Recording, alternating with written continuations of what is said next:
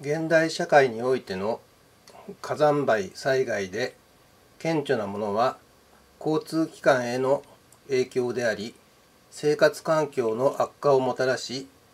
最終的には流通経済に対して大きな損害を与える。溶岩流による災害。溶岩流は火口から流出したマグマが